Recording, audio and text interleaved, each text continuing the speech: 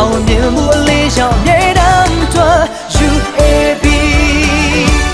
UAB with you on your journey of life.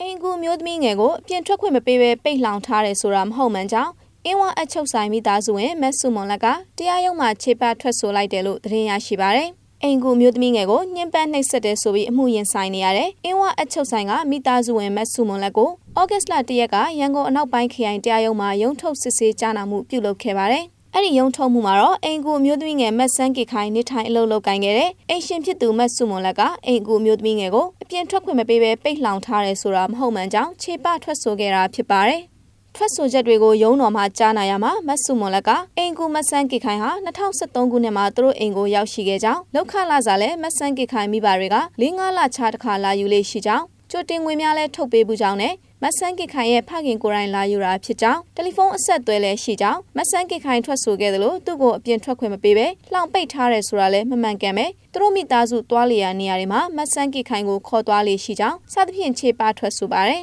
နောက်ပြီးမဆုမွန်လည်းရဲ့မိသားစုနဲ့အတူဈေးဝယ်စင်တာသွားတာကန်တော်ကြီးဥယျာဉ်ကစားကွင်းတွေသွားရမှာလဲမဆန်းကစ်ခိုင်ပါဝင်ခဲ့တဲ့တပ်ပုံတွေကိုရုံးတော်ကိုတက်တည်ဖြစ်တင်သွင်းခဲ့ရမှာရုံးတော်ကလည်းလက်ခံခဲ့ပါတယ်မဆုမွန်လက်ကိုကလေးတငယ်ဆိုင်ရာဥရေပုံမှာလူကုန်ကူးမှုတားဆီးကာကွယ်ရေးဥရေပုံမှာအပြင်းထန်နာကျင်စေမှုချုပ်နှောင်ထားမှုအတွက်ရာဇသက်ကြီးဥရေပုံမှာ325မြင်းဆောင်344စုစုပေါင်းပုံမှာ3ခုနဲ့ဆွဲချက်တင်ထားတာပါသူ နဲ့အတူအမှုရဲတူဖြစ်မိခင်ဖြစ်သူဒေါ်တင်သူစာအကိုဖြစ်သူတင်မင်းလက်နဲ့ခင်မွန်းဖြစ်သူကိုရစာထွန်းတို့လည်းပါဝင်နေပါတယ်အမဖြစ်သူတီရီလက်နဲ့ဖခင်ဖြစ်သူဥကိုလက်ကိုတော့လူကုန်ကူးမှုမှာအားပေးအားမြောက်ပြုမှုပူးပေါင်းကြံစည်မှုပုံမှာ24မြင်းဆောင်29မြင်းဆောင်32နဲ့အပြင်းထန်နာကျင်စည်မှုမှာအားပေးအားမြောက်ပြုမှုပူးပေါင်းကြံစည်မှုပုံမှာ325မြင်းဆောင်144စုစုပေါင်းပုံမှာ2ခုနဲ့ဆွဲချက်တင်ထားတာပါ အဆိုပါ6ဦးမှာဒေါ်တင်သူစာတင်မင်းလက်နဲ့စုမွန်လက်တို့ကိုစစ်ဆေးကြားနာပြီးပြီဖြစ်ပါတယ်